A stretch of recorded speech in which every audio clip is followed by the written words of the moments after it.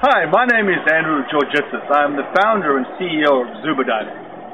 Welcome to this introduction video to the, to the equipment configuration. And what I'm going to show you in this preview is two different configurations.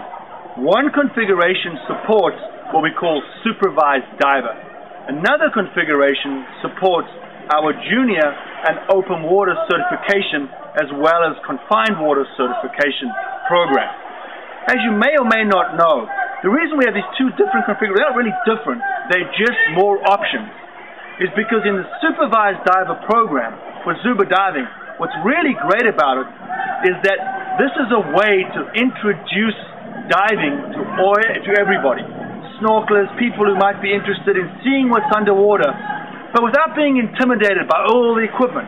Remember, Zuba diving is great because the heavy equipment, the tanks, are floating on the surface. And the diver is below, really free to move around. And it feels like snorkeling, but you can stay down at 20 feet or 6 meters.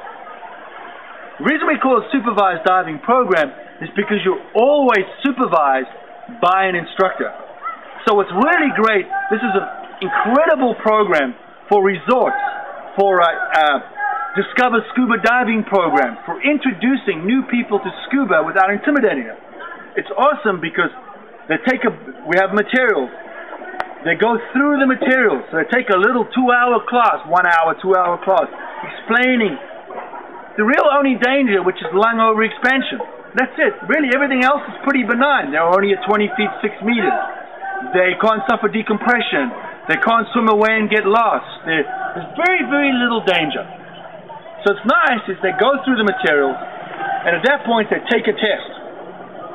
And the test and the and the waiver and release the instructor keeps, and they get a certificate, which means they don't have to do that portion again. Now they can travel anywhere in the world, and they can come to a resort like this. Right now we're at Aiyanar, and you can look them up. A I Y A N A R dot com. Great resort here in the Philippines. Absolutely beautiful resort. And you can come here and you can participate as supervised diver on Zuba, which basically means that you go out under the supervision of an instructor. And you can go anywhere in the world. It's great. So you can travel. The second configuration is the configuration in which you actually get certified. So you do online materials through Unified Team Diving. You then take a course with the UTD instructor, Unified Team Diving instructor, and you become certified. Certified means you can actually do it without the supervision of the instructor. Well, that means you can travel with your Zuba unit. Look at this Zuba unit. It folds up into a one by one cubic foot little bag. This is the whole unit, guys. It weighs five pounds.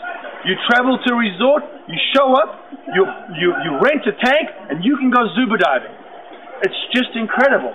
So no longer do you have to tote around the world big heavy scuba gear and all a ton of stuff. You just take the Zuba bag and off you go. So the certification does require a little more because you will be independent, meaning there will be no instructor there in case something goes wrong. So I'm going to walk you through both configurations and then you can take a look at the differences. As always, guys, I hope you really, really enjoy these configuration videos. Make sure to click on the dots on the picture so you understand the Zuba float, the long hose, the buoyancy compensating device, and all the different items that go into Zuba diving. What makes Zuba diving so unique, all right, is that it's not only just put a regulator in your mouth and go swimming, it's that it integrates into scuba. It's the stepping stone to scuba. So you can Zuba dive in the morning and scuba dive in the afternoon with the same gear. It is scuba diving gear. And that's what's so exciting about this. Because I can go for a scuba dive with my kids, and then I can grab a cylinder in the afternoon and go scuba diving with the same gear. That's the big, the, the big advantages as we go through the configuration. But once you go ahead and click on one of them, either supervised or or, uh, or, or certification, and, and, and take a look at the different configurations. Keep in mind, each one's a little step. They're all building blocks. So anything you own or buy will always be upgradable all the way. Other than that, as always, safe diving.